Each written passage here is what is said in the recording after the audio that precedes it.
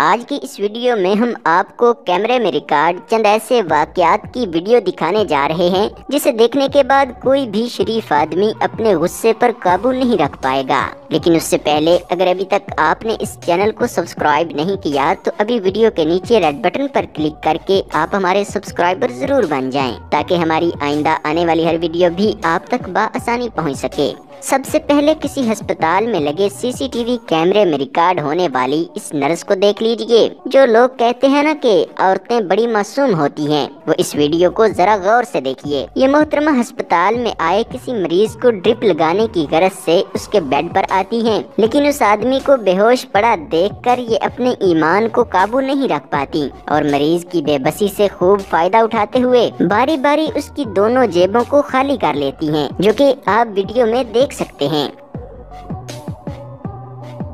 खातन का घर से अकेले बाहर निकलना किस